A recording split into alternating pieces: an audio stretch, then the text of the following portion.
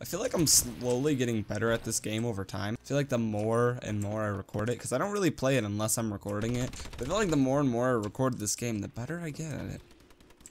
Which I mean, makes sense because practice makes perfect. Okay. I didn't just kill your friend. So I've got kind of a sensitive topic to talk about today. So one thing in life that really pisses me off when people just assume I'm gay. I have nothing against gays. I think they're perfectly respectable people. My sister's gay. I think live your life how you want to live it. I'm okay with it. So many times in my life, because I'm just a, just a magical, flamboyant person that everybody loves, so many fucking times in my life, I've just been told that I'm gay. And like, it's understandable. I'm pretty. I'm, I'm fabulous.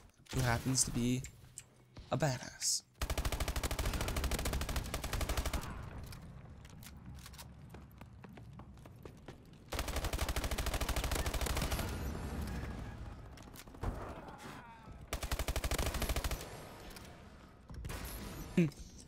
What doesn't piss me off is when a gay guy asks if I'm gay.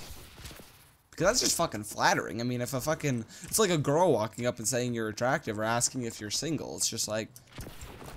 Dude, she thinks I'm... He slash she thinks I'm hot enough to compliment me by trying to figure out if they can get in my pants.